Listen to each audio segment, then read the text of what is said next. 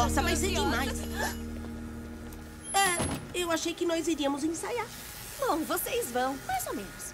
Quando eu era aluna da Princesa Celestia, vi que era melhor aprender direto na prática mesmo. Estudar livros antigos é ótimo para alguns, mas eu prefiro resolver mistérios mágicos arregaçando as mangas e sujando minhas patas. Ah, quer dizer, mãos. Dá pra entender trabalhar duro lá fora, mas que diacho isso tem a ver com a gente tocar música? Eu tô tentando descobrir como a mágica funciona aqui. Por que crescem orelhas, caudas e asas quando viram pôneis e o que isso tem a ver com seus instrumentos. Ah, precisamos mesmo descobrir isso. Vai ser legal. Comecem a tocar. Nem vão perceber que eu tô aqui.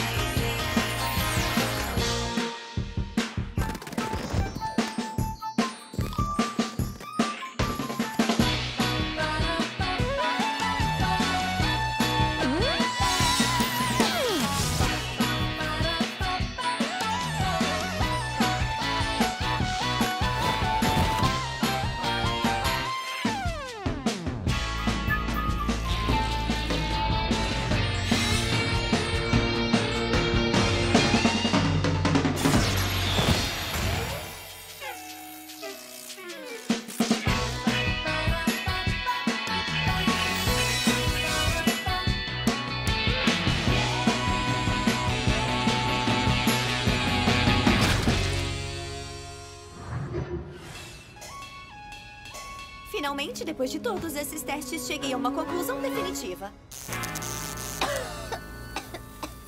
Não tenho ideia de como a magia funciona nesse mundo.